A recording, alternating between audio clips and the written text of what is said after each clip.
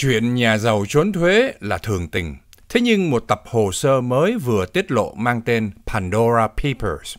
cho thấy tầm mức khổng lồ mang tính thế giới từ những nhân vật chính trị và quyền lực đã trốn thuế và giấu nguồn tài sản của họ như thế nào.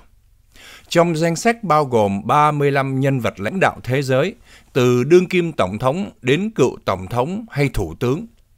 Tập tài liệu bao gồm 11,9 triệu hồ sơ của những công ty được các nhân vật giàu có quyền lực này thuê mướn để giấu nguồn tài sản của họ ở ngoại quốc như thế nào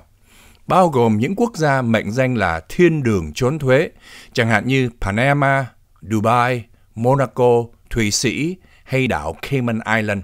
để giấu tiền và né thuế tại các quốc gia của họ đang cư ngụ. Trong số những nhân vật trốn thuế và giấu giếm tài sản còn bao gồm các vị bộ trưởng, thẩm phán, thị trưởng, tướng lãnh của 90 quốc gia. Tên tuổi của hơn 100 tỷ phú, các ngôi sao màn bạc, nghệ sĩ, doanh gia trên thế giới cũng bị tiết lộ, mà đa phần sử dụng những công ty nước ngoài để làm chủ nguồn tài sản của họ, chẳng hạn như địa ốc, du thuyền, kể cả các chương mục khổng lồ. Hồ sơ Pandora Papers còn cho thấy tài sản của giới tỷ phú này là gì, thí dụ như bao gồm tranh nghệ thuật, đồ cổ, vân vân. Theo tờ Washington Post, hồ sơ mật đã được gửi đến cho tổ chức ký giả điều tra quốc tế gọi tắt là ICIJ, là một tổ chức chuyên điều tra những vụ lạm dụng quyền lực hoặc trốn tránh pháp luật từ những nhân vật quyền lực toàn cầu. Sau khi nhận được tập hồ sơ khổng lồ này, tổ chức ICIJ ngay lập tức chuyển đến cho các hãng truyền thông lớn và uy tín như The Guardian, BBC Panorama của Anh Quốc, Le Monde của Pháp,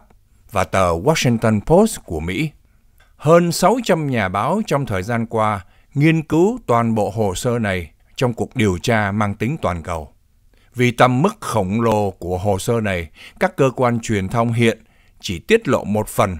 tập trung vào các nhân vật quyền lực nổi tiếng thế giới hiện nay, thí dụ như vua Abdullah đệ nhị của Jordan – sở hữu khoảng 100 triệu Mỹ Kim những căn nhà từ Malibu đến Washington và London.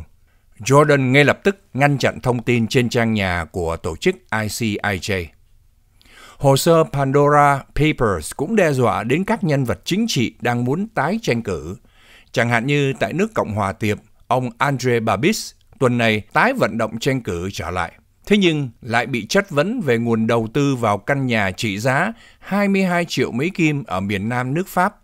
Ông đã không trả lời phỏng vấn của báo chí ngày hôm nay. Rồi đến cựu Thủ tướng Anh Tony Blair và phu nhân.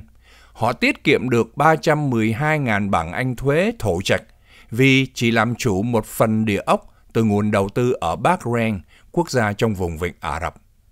Rồi đến Tổng thống Nga Vladimir Putin Mặc dù tên của ông không xuất hiện trong tập hồ sơ này, nhưng người ta để ý đến các nhân vật thân cận và thậm chí người yêu bí mật của Putin, giúp che giấu nguồn tài sản khổng lồ ở khắp nơi trên thế giới. Riêng tại Hoa Kỳ, hồ sơ cho thấy tiểu bang South Dakota hiện là nơi bí mật giữ nhiều tỷ Mỹ Kim nguồn tài sản từ những nhân vật nổi tiếng xưa nay chuyên trốn thế và vi phạm vào các luật tài chính nghiêm trọng của Hoa Kỳ. Thế nhưng họ vẫn không bị ảnh hưởng. Và còn rất nhiều nhân vật chính trị khác còn đang giữ vai trò lãnh đạo trong các chính phủ khắp năm châu cũng bị nêu tên trong hồ sơ Pandora Papers này. Hiện có ít nhất 11,3 ngàn tỷ Mỹ Kim đang được giấu ở nước ngoài và gây thất thu từ thuế cho nhiều quốc gia, mà lẽ ra số tiền này theo các chuyên gia đóng góp rất lớn cho sự phát triển xã hội hoặc ít nhất giúp các quốc gia hồi phục sau đại dịch COVID. Tuy nhiên, theo các chuyên gia, ít nhất việc tiết lộ hồ sơ tài chính mật này sẽ giúp đưa ra ánh sáng những khe hở về thuế và gây ảnh hưởng đến nguồn tiền mà các chính phủ có khả năng thu hồi trong tương lai. Hoàng Trọng Thụy tường trình cho đài Little Sài Gòn TV.